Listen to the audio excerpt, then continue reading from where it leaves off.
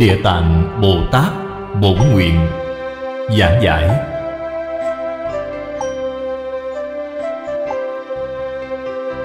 Chủ giảng, Lão Pháp Sư Tịnh Không. Giảng tại Tịnh Tông Học hội Singapore, Thời gian tháng 5 năm 1998 Tập 50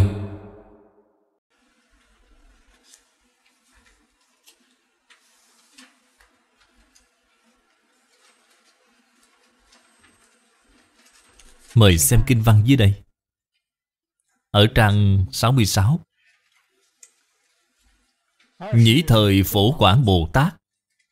Văn Phật Như Lai. Xưng dương tán tháng địa tạng Bồ Tát dĩ. Hồ quỷ hợp trưởng Phục bạch Phật ngôn. Thế Tôn. Ngã cửu tri thị đại sĩ. Hữu như thử bất khả tư nghị thần lực. Cập đại thệ nguyện. Lực vị vị lai chúng sanh, Khiển tri lợi ích, Cố vấn như lai, Duy nhiên đỉnh thọ. Đây là Bồ Tát Thầy chúng ta. Xin ý kiến lên Thế Tôn. Thế Tôn đã dạy nhiều như vậy.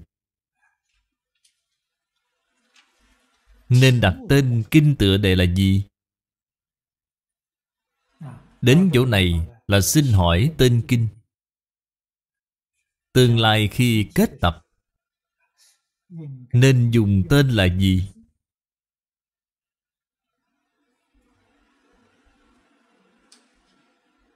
Là giống như người thế gian sáng tác văn chương vậy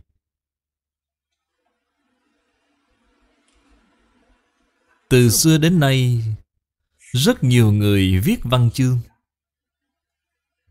Sau khi văn chương viết xong rồi, Tiếp theo đặt tựa đề. Đây là cách làm rất bình thường.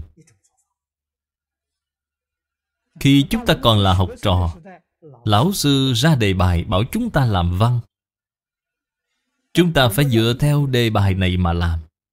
Như thế thì rất khó. Đó là luyện tập. Còn thật sự làm văn Là sau khi viết văn xong, Sau đó xem lại nội dung của toàn bài văn, Rồi mới đặt tựa đề. Giống như chúng ta hiện nay mỗi sáng, Sau khi ăn điểm tâm xong, Nói chuyện với mọi người. Nói tùy ý. Các bạn ghi âm lại. Sau đó Viết nó ra thành văn tự, Sau đó xem nội dung Rồi đặt tựa đề cho nó.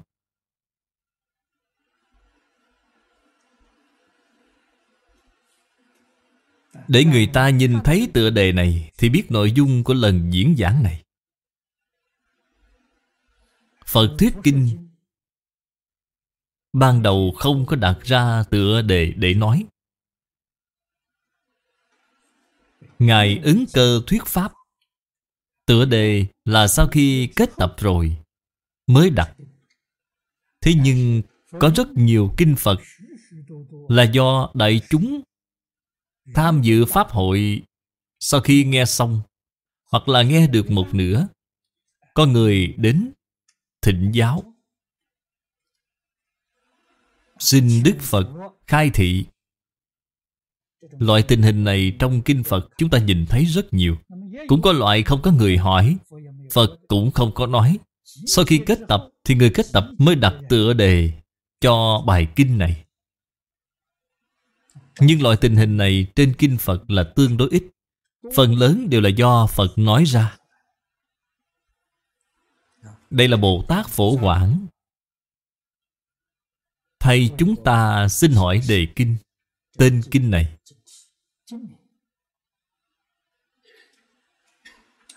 Nhĩ thời là Thế Tôn. Nói ra, Các kiểu tu hành Hóa tha. Những sự tích công đức Của Bồ Tát Địa Tạng Cho chúng ta biết. Sau khi nói xong, Thì Bồ Tát Phổ Quảng, Hồ Quỷ Hiệp trưởng.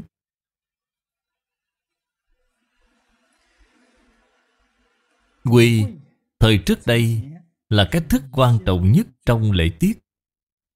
Người Trung Quốc khi quỳ xuống lễ bái Khác với người nước ngoài. Hồ quỷ là lễ tiết của người nước ngoài Chứ không phải lễ tiết của người Trung Quốc. Cách quỳ của Trung Quốc là hai đầu gối đều quỳ xuống. Cách quỳ của Ấn Độ xưa là quỳ bằng một đầu gối, Khác với cách của Trung Quốc.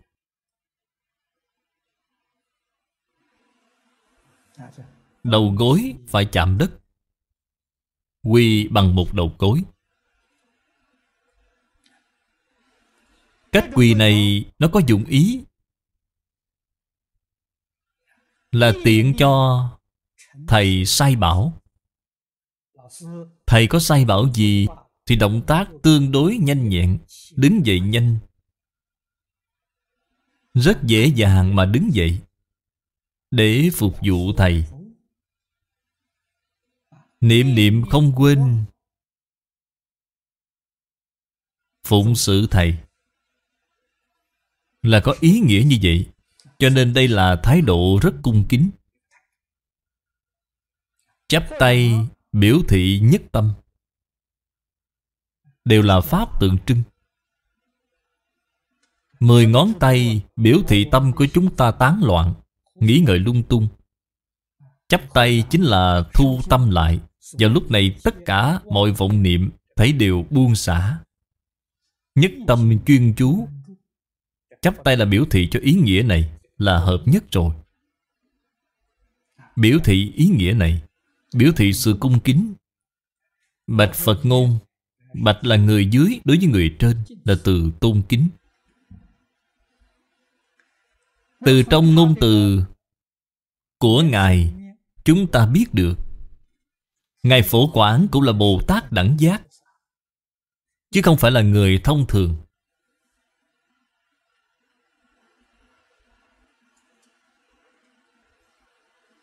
Cũng là chư Phật Như Lai thị hiện. Đúng như câu nói, Một Đức Phật ra đời, Thì nghìn Đức Phật ủng hộ.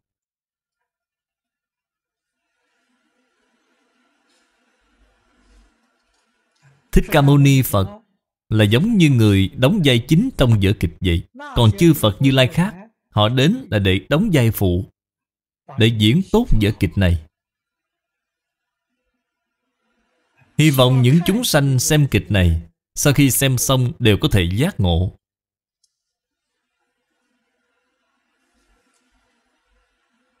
Cho nên Phật Pháp quả thật là đang diễn kịch.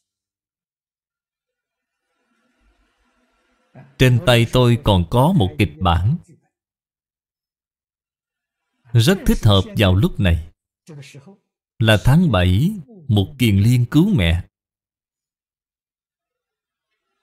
Kịch bản đó thật sự là vở kịch lớn.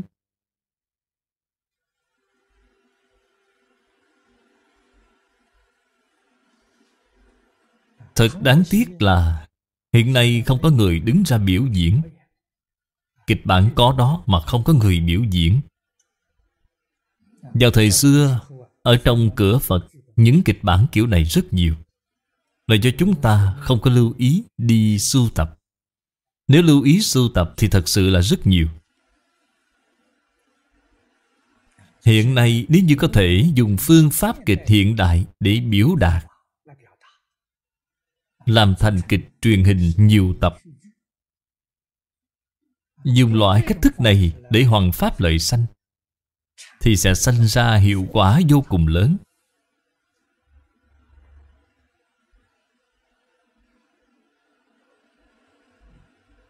Nhà Phật thường nói, Có nhiều cửa phương tiện.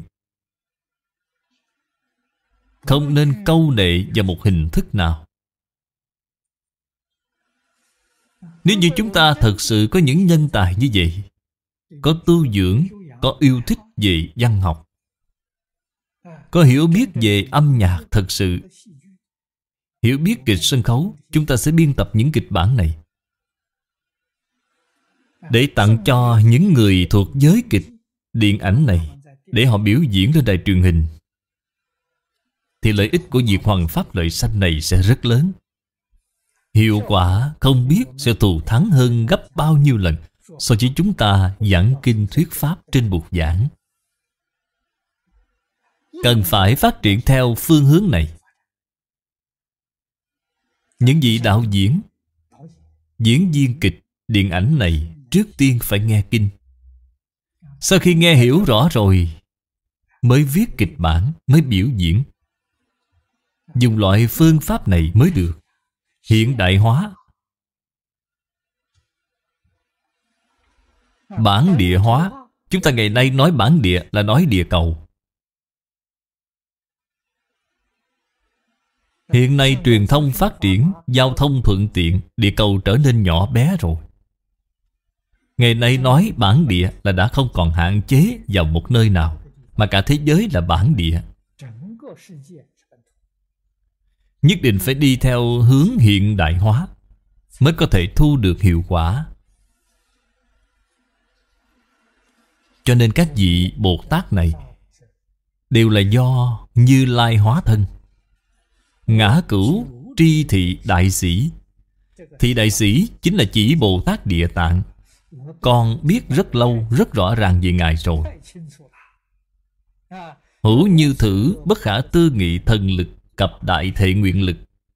Đây chính là lời mà Thích Ca Mâu Ni Phật đã nói ở phía trước. Phổ Quảng Bồ Tát đã biết từ lâu rồi, Đâu có chuyện không biết. Tại vì sao ở chỗ này Ngài phải hỏi vậy? Vị vị lai chúng sanh Khiển tri lợi ích, Cố vấn như lai. Cách hỏi này của Ngài là biết mà vẫn hỏi, Là diễn kịch là song ca, Một người hỏi, một người trả lời. Chúng sanh không biết. Không biết nhưng chúng sanh không biết hỏi. Nhất định phải là người trong nghề Mới có thể hỏi được. Chúng ta đọc kinh này. Chúng ta phải học. Phải học tập. Bất kỳ ở đâu, Bất kỳ thời gian nào, Vô cùng đáng tiếc, Chúng ta đều là chúng sanh mê hoặc điên đảo, Chưa giác ngộ.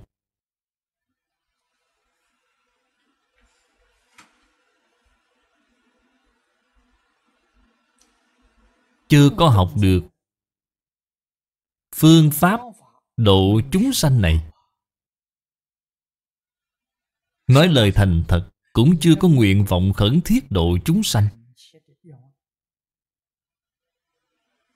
Cho nên vẫn là phàm phu sanh tử. Nếu như bạn học được phương pháp này rồi, Bạn cũng có cái nguyện lớn này. Từng giây từng phút muốn giúp đỡ chúng sanh, Lợi ích chúng sanh. Không có gián đoạn. Khi đi tản bộ nói chuyện, Phía trước phía sau đều có người. Chúng ta biết mà vẫn hỏi, Một người hỏi một người trả lời như vậy, Để cho người khác nghe. Chúng ta ở nơi công cộng, Ăn cơm ở trong nhà hàng, Xung quanh có rất nhiều người. Xưa nay chưa có ai hỏi Thưa Pháp Sư thế nào gọi là Phật. Bạn hiểu, tôi cũng hiểu. Chúng ta một người hỏi, một người đáp, Đóng kịch cho người khác nghe. Vì những người đó họ không hiểu, Nhà hàng chúng ta đang ăn cơm ở đó, Nơi đó chính là đạo tràng. Người đến tham gia ăn cơm đều là thính chúng. Có mấy người biết được điều này? Trong tự viện ở Trung Quốc Đại Lục, Các bạn đều sống ở trong tự viện. Mỗi ngày có bao nhiêu đoàn tham quan?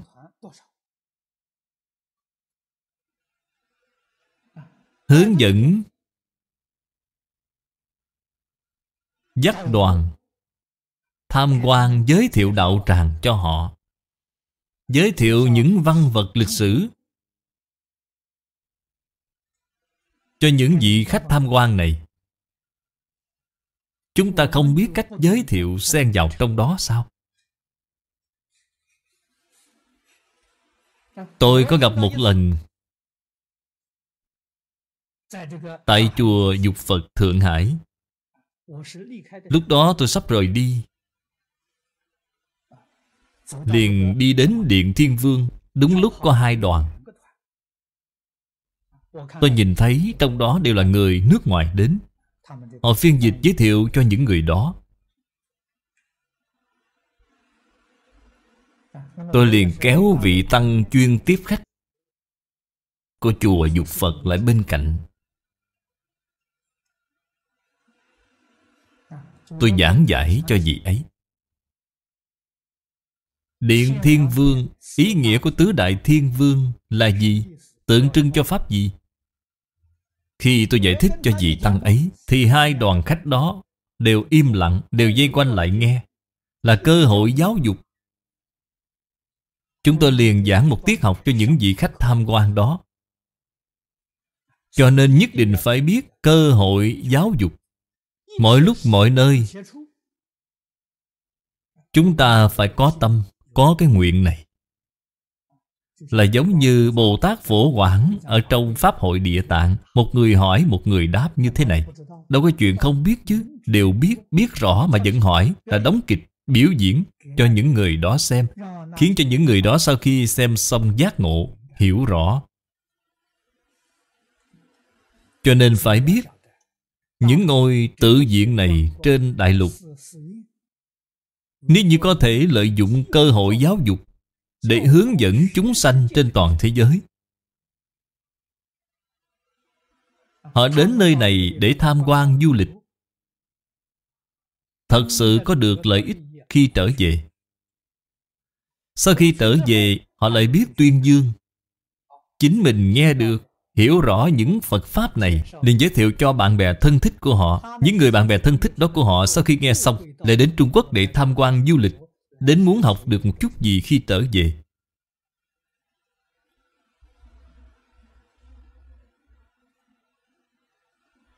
Họ đến nơi này để tham quan, Tốn một chút tiền, Đó là học phí. Cũng thật sự học được một chút gì đó khi trở về, Vì chúng ta cũng không cô phụ họ. Đó là việc tốt. Cho nên tôi không ở Trung Quốc thì vô phương. Nếu tôi ở Trung Quốc tôi nhất định sẽ kiến nghị với Hiệp hội Phật giáo Trung Quốc. Phải tập hợp tất cả người xuất gia lại mở lớp đào tạo. Đào tạo cho họ cơ hội giáo hóa. Mỗi người đều nói được. Không cần nhiều Chỉ cần hiểu rõ ràng, hiểu minh bạch những pháp tượng trưng này. Ngày ngày giảng giải thuyết minh cho những đoàn tham quan du lịch này.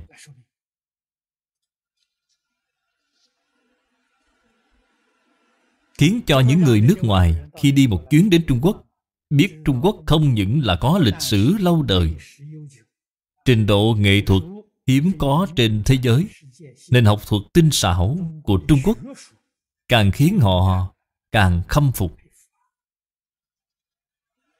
Đây là tuyên dương văn hóa vốn có, tuyên dương Phật Pháp Đại Thừa.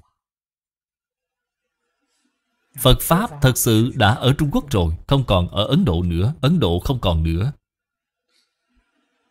Phật Pháp cũng di dân đến Trung Quốc rồi, Ấn Độ không còn nữa. Nếu toàn thế giới muốn học Phật, Nhất định phải đến Trung Quốc. Chúng tôi đọc đoạn kinh văn này Thấy rất là cảm khái. Nhất định phải biết Mình nên làm như thế nào. Đều là vì lợi ích chúng sanh.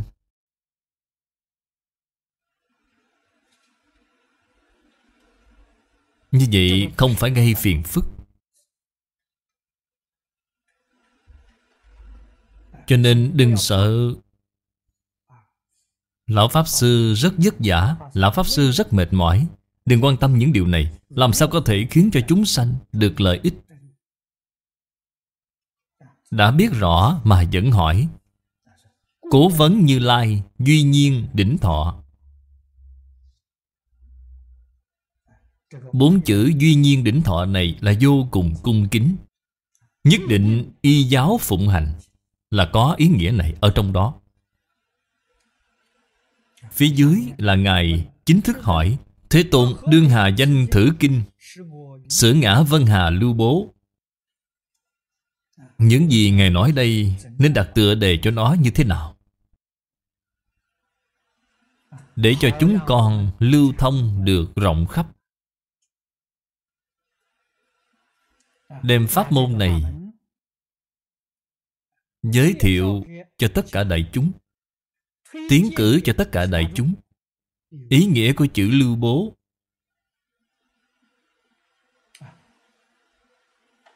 Là lưu thông tuyên bố.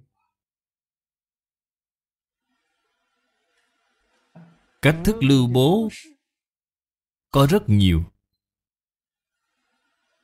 Vô lượng, vô biên. Quyết định không phải chỉ có một loại hình thức.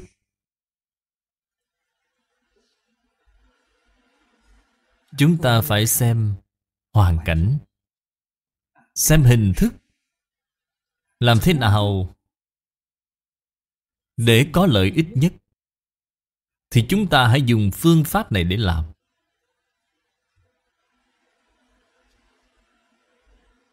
Chúng tôi giảng kinh ở trong giảng đường. Giảng đường rất nhỏ. Thính chúng không nhiều. Làm thế nào mở rộng hiệu quả của giảng kinh? Đương nhiên lý tưởng nhất là truyền hình. Cái duyên truyền hình này chúng tôi không thành thạo lắm. Không có mối quan hệ này. Nhất là truyền hình do chính sách quốc gia hạn chế rất nghiêm ngặt.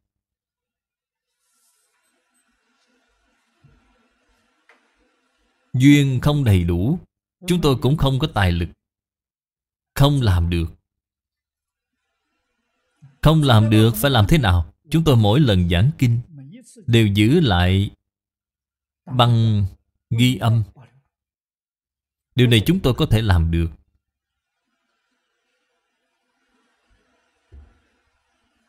Đạo tràng nào có duyên Đồng tu nào có duyên Mà không có duyên đến hiện trường để nghe. Chúng ta có thể đem số băng ghi âm này Sao chép tặng cho họ Trong Phật Pháp, Đây là bố thí cúng dường. Tuyệt đối không có mua bán. Cho nên kinh sách, Băng ghi âm, Băng ghi hình CD Chúng ta in, Hoàn toàn không có hành vi mua bán, Đều để biếu tặng.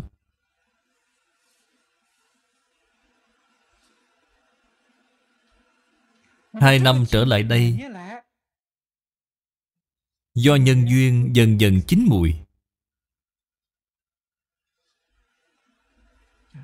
Từ sau khi Đài thứ tư của Đài Loan mở cửa, Có rất nhiều người hỏi tôi, xin băng ghi hình. Có người cần là việc tốt rồi. Chúng tôi rất quan hỷ. Chúng tôi cung cấp. Họ đem về phát hình. Cho nên hiện nay Đài Loan, Hầu như mỗi ngày có 3-4 giờ đồng hồ, Trình chiếu những băng ghi hình này. Ở nước Mỹ, Mỗi ngày có một giờ đồng hồ. Gần đây, đài truyền hình Ha Quai Cũng bắt đầu phát hình Mỗi tuần hai lần. Hình như là 2 giờ đồng hồ. Một tuần hai giờ đồng hồ. Phong khí dần dần mở rộng ra. Băng ghi hình của chúng tôi Đã đưa vào đúng chỗ rồi. Chỉ cần họ ngỏ lời, Chỗ chúng tôi lưu giữ rất nhiều thứ.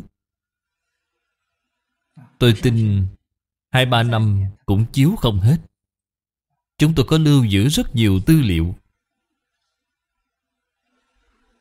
Chúng tôi từ lâu đã nghĩ đến Phải lợi dụng phương thức khoa học kỹ thuật. Hiện nay, Mạng Internet mở cửa. Điều này đối với chúng ta mà nói Cũng là phương pháp lưu bố tốt nhất. Rất nhiều những tư liệu này Đều đưa lên mạng.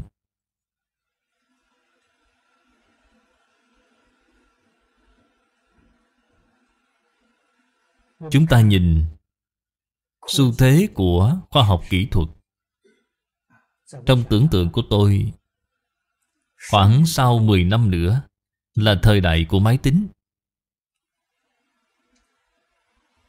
Có thể những đài truyền hình này sẽ bị đào thải hết. Mỗi một người mang theo một chiếc máy tính nhỏ. Chiếc máy tính thì chỉ bằng cuốn sách vậy. Máy tính của 10 năm sau có thể biến thành một chiếc hộp rất nhỏ, Có thể bỏ vào túi được. Càng làm càng tiến bộ. Khi mỗi người mở máy tính ra Là có thể nhìn thấy bất cứ lúc nào, Chỉ cần có thời gian nhàn rỗi. Khi bạn muốn nghe kinh là đều có thể nghe được. Quá thuận tiện rồi. Cho nên tương lai hoàng pháp lợi sanh ra toàn thế giới. Cần chỗ bao nhiêu lớn? Chỗ lớn như hiện nay của chúng ta là đủ rồi. Chỗ nhỏ thì bớt việc Chi phí ít. Không cần cầu cạnh người. Toàn bộ sức lực này thấy đều làm công việc hoàn pháp. Làm công việc giúp đỡ những chúng sanh khổ nạn. Bản thân chúng ta đủ ăn đủ mặc là rất vui vẻ, rất tự tại rồi. Có bạn hữu chí đồng đạo hợp Khoảng 7-8 người là đủ rồi. Người không cần quá nhiều. Chúng ta chuyên tham cứu Đại Thừa. Mỗi ngày rèn luyện ở trên bục giảng. Lợi dụng phương pháp khoa học kỹ thuật Đem nó phổ cập ra toàn thế giới. Chúng ta dùng phương pháp này để lưu thông rộng khắp. Làm cho tâm định trở lại, Chuyên môn làm chuyện này.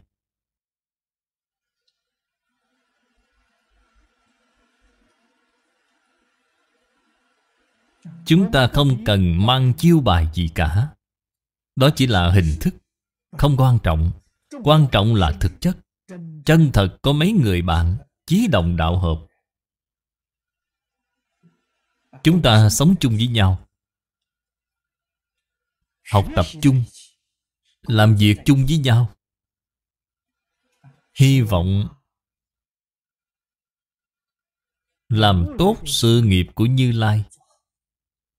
Đời này sống cho thật phong phú, Thật có giá trị, Thật có ý nghĩa.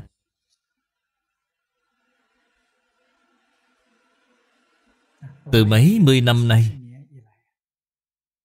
Từ lúc học Phật cho đến nay, Tôi cũng có nguyện vọng này. Hy vọng có vài người đồng tu Chân thật chí đồng đạo hợp. Chúng ta cùng nhau làm sự nghiệp này.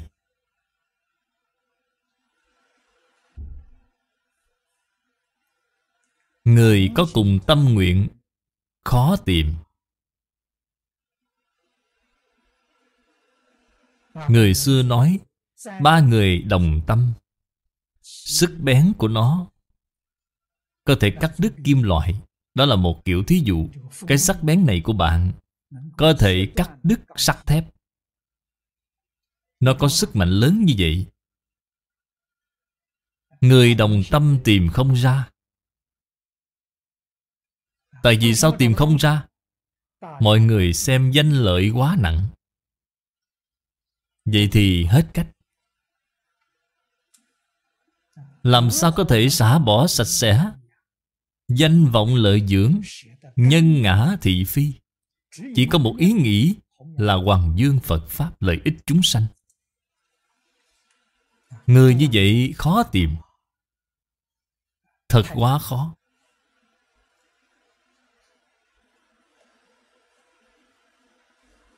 Tôi tin tưởng sâu sắc. Chỉ cần có 5 người là có thể làm cho Phật Pháp hưng dượng trở lại. Không khác gì so với thời đại của Thích Ca Mâu Ni Phật. Thế Tôn năm xưa cùng với năm vị tỳ kheo Tại Dương Lộc Uyển có thể khởi nghiệp. Ngày nay nếu có được năm vị tỳ kheo Thì chắc chắn có thể làm cho Phật Pháp hưng dượng trở lại. Năm người này chân thật phải có đạo tâm. Giống như vừa rồi mới nói là chân thật chuyển đổi được quan niệm, ngôn ngữ, hành vi trở lại. Đồng tâm, đồng nguyện, đồng giải, đồng hạnh với Phật. Thì sự nghiệp này mới có thể làm được viên mãn. Mời xem kinh văn dưới đây Phật cáo phổ quảng Thử kinh hữu tam danh Nhất danh địa tạng bổn nguyện Diệt danh địa tạng bổn hạnh Diệt danh địa tạng bổn thể lực kinh.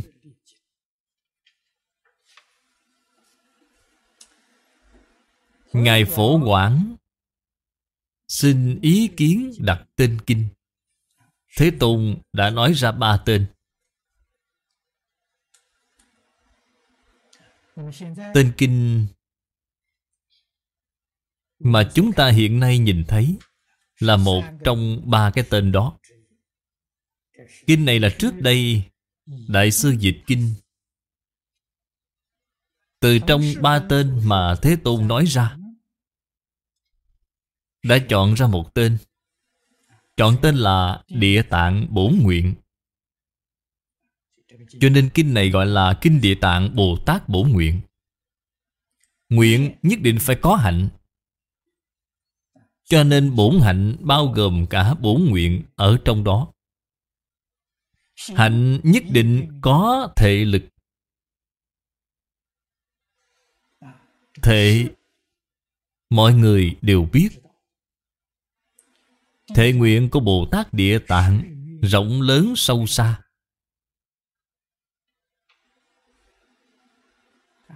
Chân thật là xả mình vì người. Chúng ta ngày nay gọi là hy sinh phụng hiến. Xả mình vì người. Thì Bồ Tát Địa Tạng là mô phạm hàng đầu. Địa ngục chưa trống không, Thề không thành Phật.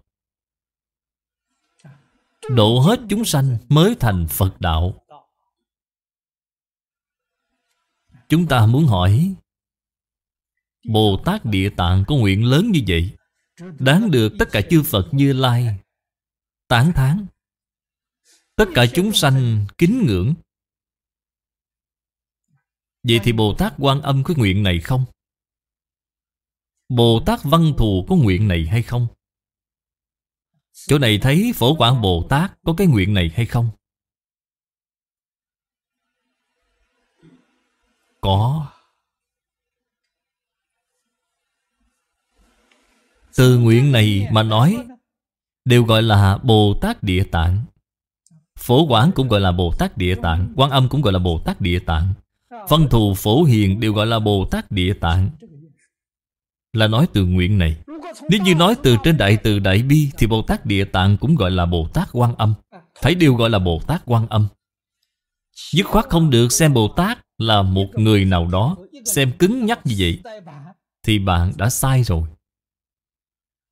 Tất cả mọi Bồ Tát đều là Pháp tượng trưng. Cho nên bạn thành tựu cái gì?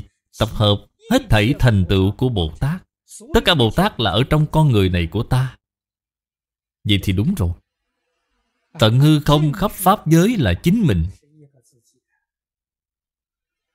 Từ sự hiếu thân tôn sư của chính chúng ta, Từ hạnh nguyện này, Đó chính là Bồ Tát Địa Tạng. Từ sự từ bi cứu đời Thì bạn chính là Bồ Tát Quan Thế Âm. Từ dùng lý trí, Không dùng cảm tình, Thì bạn chính là Bồ Tát Văn Thù. Nói được làm được, Nói đi đôi với làm Như vậy thì chính là Bồ Tát Phổ Hiền. Toàn bộ tất cả Bồ Tát là một người, Không phải rất nhiều người. Phải hiểu được đạo lý này. Chúng ta ngày nay học Phật, Học đến già cũng không thể vào cửa được. Sai ở chỗ nào gì? Sai ở chỗ là chúng ta phân chia tất cả Bồ Tát riêng ra. Vị này không phải vị kia, vị kia không phải vị này. Vậy là hỏng rồi. Cho nên bạn không tìm được cửa vào. Bạn thật sự hiểu được Tất cả chư Phật là một vị Phật. Tất cả Bồ Tát là một vị Bồ Tát. Trong Hoa Nghiêm nhiều lần gợi ý cho chúng ta Một tức tất cả, tất cả tức một một tất cả không hai Đều là nói rõ đạo lý này. Đều là nói cái sự thật này. Đâu có thể phân chia ra được chứ. Vừa phân chia, vậy liền rơi vào vọng tưởng phân biệt chấp trước rồi. Vọng tưởng phân biệt chấp trước không dứt, Thì bạn không thể tìm được cửa vào. Nói lời thành thật, Đọc kinh bạn cũng không hiểu. Thì làm sao bạn có thể có được sự lợi ích thù thắng của kinh giáo này?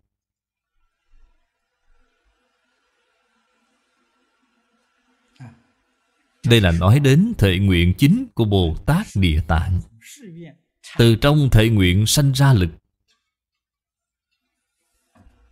Chữ lực này, Ngày nay chúng ta gọi là động lực. Dũng mãnh tinh tấn.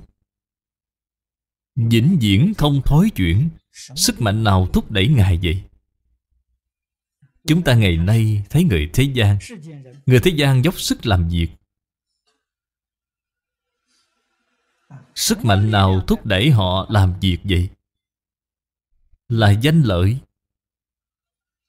Nếu như họ không có được danh, không có được lợi Họ sẽ giải đãi ngay Không muốn làm gì cả. Hôm qua trên báo có đăng một mẫu tin nhỏ Tôi xem xong thấy rất thú vị. Nói đến thung lũng Silicon ở California Đó là nơi tôi ở California lúc xưa. Tôi sống ở Vịnh Nam. Chính là nói đến nơi đó Nơi đó có rất nhiều nhà khoa học. Phần lớn là người làm máy vi tính điện tử. Tôi giảng kinh ở San Francisco. Những người này họ đều đến nghe. Ở trong đây rất nhiều người có học vị tiến sĩ. Tôi còn nhớ lần đầu tiên tôi giảng kinh tại San Francisco. Thính chúng có khoảng hơn 80 người. Hai phần ba là có học vị tiến sĩ. Cho nên vị đồng tu đó nói với tôi, Anh ta nói, Pháp Sư à Thầy hãy đến nơi này để mở lớp tiến sĩ. Những người này làm việc đều rất nỗ lực. Mỗi ngày làm việc đến mười mấy giờ đồng hồ. Vì sao vậy? Kiếm tiền. Kiếm tiền xong rồi không có chỗ tiêu xài, Không biết cách tiêu tiền như thế nào. Thực sự là như vậy.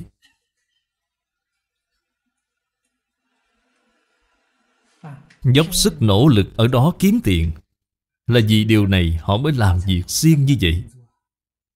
Nếu như không kiếm được tiền, Không có lợi ích, Họ nhất định sẽ không làm. Động lực làm việc, Lao động của người thế gian Là danh lợi. Còn Phật Pháp xả bỏ hết danh lợi. Sức mạnh nào thúc đẩy họ vậy? Là bổn thể Thệ nguyện của họ, Thúc đẩy họ. Tứ hoàng thệ nguyện. Tứ hoàng thệ nguyện thực ra chính là nguyện đầu tiên. Chúng sanh vô biên thệ nguyện độ. Động lực này đang thúc đẩy họ. Nếu họ thật sự có nguyện này, Họ nhất định sẽ đoạn phiền não, Nhất định sẽ học pháp môn, Nhất định thành Phật đạo. Vì sao vậy? Nếu họ không đoạn phiền não, Không học pháp môn, Thì họ sẽ không có cái năng lực độ chúng sanh.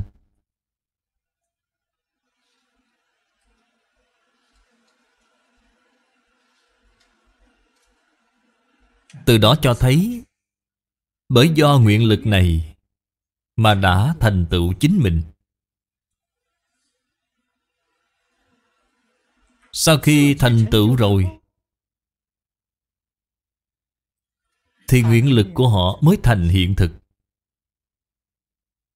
Mới có thể phổ độ chúng sanh. Cho nên chư Phật thành Phật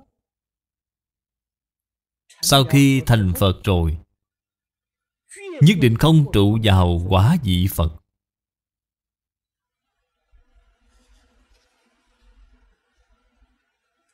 Mà lui về quả vị Bồ Tát.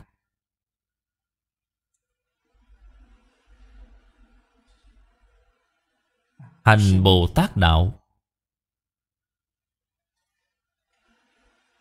Bồ Tát là địa vị học trò. Phật là địa vị của lão sư. Bởi vì ở trên địa vị, Lão sư sẽ rất phiền phức. Phật đạo là sư đạo. Đề xướng là tôn sư trọng đạo.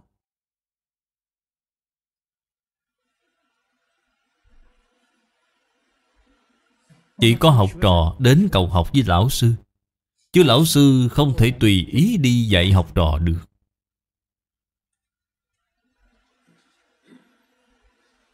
Nếu lão sư tùy ý đi dạy học trò, Thì học trò sẽ không tôn kính lão sư.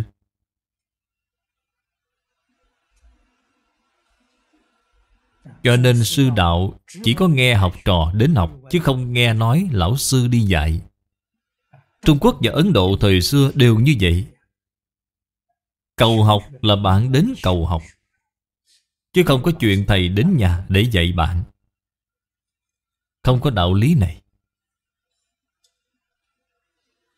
Ai có thể đến nhà bạn để dạy bạn vậy? Bồ Tát Bồ Tát là bạn học. Bạn học thì không có sự tôn nghiêm này. Bạn học có thể tùy tiện được. Cho nên trong kinh nói, Làm người bạn không mời mà đến. Bạn không đến tìm tôi Tôi có thể đi tìm bạn. Đó là Bồ Tát Bồ Tát thì thuận tiện rồi. Quan hệ của chúng ta là quan hệ bạn bè, Chứ không phải quan hệ lão sư và trò. Bạn phải biết biểu diễn làm thầy Chỉ có một mình Thích Ca Mâu Ni Phật. Còn biểu diễn làm học trò, Có rất nhiều chư Phật Như Lai thị hiện thành thân phận Bồ Tát Đến làm bạn học với chúng ta, Đến giúp đỡ chúng ta. Nói thật ra, những người này Đã thành Phật từ lâu rồi. Đây chân thật là từ bi. Giúp Phật đến mà giáo hóa chúng sanh. Nếu không phải người trong nghề thì không thể giúp được. Không phải người trong nghề thì không thể quan sát căn cơ được. Không phải người trong nghề thì không thể hỏi được, Không biết hỏi thế nào.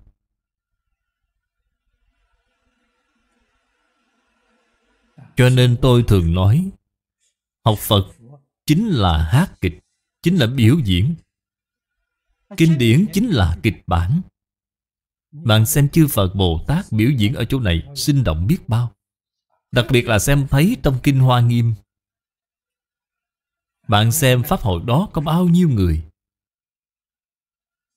Nếu như từ lúc mở đầu Kinh Đến khi kết thúc toàn Kinh, Số đoàn tham dự Không tính số người. Tính số đoàn tham dự, Tổng cộng đã có đến 228 đoàn. Nhiều đoàn như vậy. Chúng ta nói từ góc độ đoàn thể đã nhiều như vậy rồi.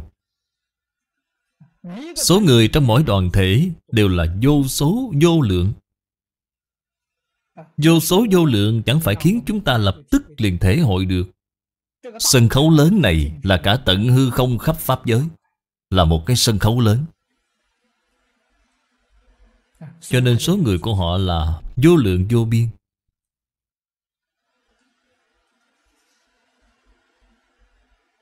Những người nào là đạo diễn? Những người nào làm diễn viên? Toàn là chư Phật Như Lai. Chúng ta xem thấy trên kinh, Đủ dạng thân phận khác nhau. Toàn là chư Phật Như Lai biến hiện ra. Cần dùng thân gì để độ, liền hiện thân ấy. Tùy loại hóa thân, Tùy căn cơ thuyết pháp. Chúng ta phải học được bản lĩnh này Từ trong kinh điển này. Nếu xây dựng đường lối như thế này, Thì chúng ta cũng sẽ tham dự Pháp hội này. Pháp hội này là Pháp hội Hoa Nghiêm. Pháp hội Hoa Nghiêm không lúc nào không có Không có gián đoạn. Cho nên trên kinh nói, Trần thuyết, sát thuyết, vô gián thuyết Là không có gián đoạn. Pháp hội Hoa Nghiêm là Pháp hội chung. Tất cả Pháp hội còn lại là Pháp hội nhỏ. Trong Pháp hội lớn chia thành Pháp hội nhỏ, Hoa Nghiêm là Pháp hội chung.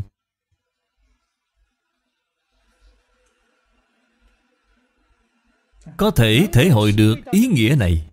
Khế nhập cảnh giới này, Chúng ta sẽ vào Pháp hội Hoa Nghiêm. Hôm thứ Bảy, chúng ta có gặp một đoạn kinh văn. Đúng lúc dẫn đến đoạn Hoa Nghiêm Tam Muội. Nhiều ít cũng đã báo cáo qua chút ít. Với các vị rồi.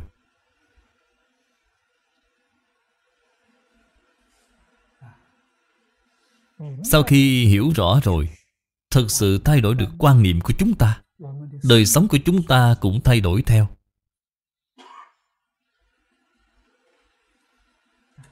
Chuyển đổi nghiệp lực của chúng ta thành nguyện lực. Vậy là học Phật chân thật đắc lực rồi. Lời tiên sinh Phương Đông Mỹ nói, Hưởng thụ cao nhất của đời người. Nếu không chuyển trở lại được Thì bạn không có được rồi. Sau khi chuyển trở lại rồi, Thì đó là hưởng thụ cao nhất của đời người. Đây là nói đến Địa tạng bổn thệ lực kinh.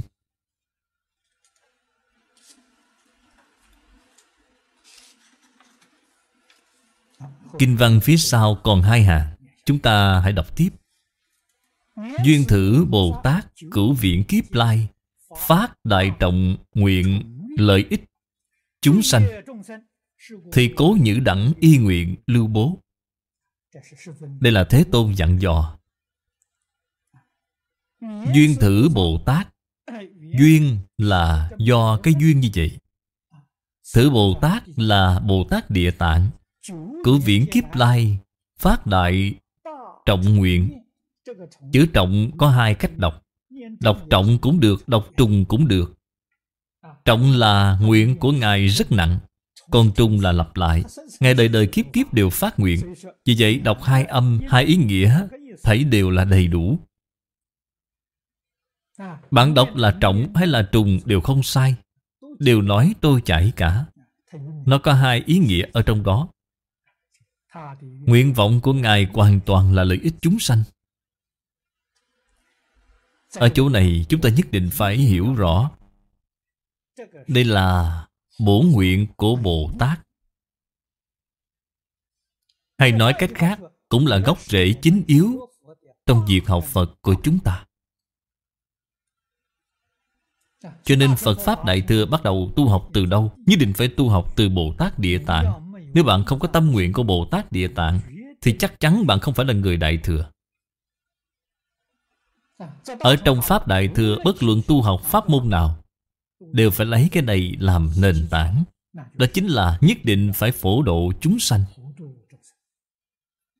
Thật sự là chúng sanh chưa được độ, Thì bản thân ta không thể thành Phật được. Lúc này không thể thành Phật Là không ở quả vị Phật. Bồ Tát Địa Tạng chân thật là đã thành Phật từ lâu rồi. Học trò của Ngài đều thành Phật rồi, Thì đâu lý nào Ngài không thành Phật? Ngài không ở quả vị Phật. Cũng chính là nói Ngài không dùng thân phận lão sư để xuất hiện ở thế gian. Dính diễn là dùng thân phận bạn học để giúp đỡ tất cả chúng sanh. Chính là ý nghĩa này. Không làm lão sư, làm bạn học với tất cả chúng sanh, Là lớp trưởng của tất cả đại chúng. Dùng tư thế lớp trưởng để xuất hiện, Chứ không dùng thân phận lão sư xuất hiện. Ý nghĩa đích thực là ở chỗ này. Có đủ tư cách làm lão sư Mà không dùng thân phận đó xuất hiện. Điểm này chúng ta nhất định phải học tập. Tức là chủ động giúp đỡ tất cả chúng sanh. Giúp mọi người phá mê khai ngộ liều khổ được vui. Phổ quản văn dĩ, Hiệp trưởng cung kính tác lễ nhi thoái. Nhi thoái Thoái là Nhất định sẽ làm theo. Không phải lui ra rồi là xong chuyện. Sau khi lui ra Nhất định là y giáo phụng hành. Sẽ chăm chỉ mà làm. Được rồi, phẩm này chỉ giới thiệu đến đây thôi. A-di-đà Phật. Cẩn dịch. Ban biên dịch. Tịnh không pháp ngữ. Địa chỉ email Vọng Tây Cư Sĩ A Móc Gmail.com Người đọc. Hạnh Quang. Nguyện đem công đức này Hồi hướng đến hương linh nhà giáo, Cụ Phan Thế Phả. Kính nguyện hương linh, Nương nhờ Phật lực, Tội diệt phước sanh, tóc xả mê đồ, tảo đăng phật quốc. Nguyện cả thảy chúng sanh đều tín niệm di đà, đồng cầu sanh về nước cực lạc. Nguyện đem công đức này trang nghiêm phật tịnh độ trên đền bốn ơn nặng, Dưới cứu khổ ba đường. Nếu có ai thấy nghe, Đều phát tâm Bồ Đề. Hết một báo thân này, Đồng sanh về nước cực lạc. Nam Mô A Di Đà Phật.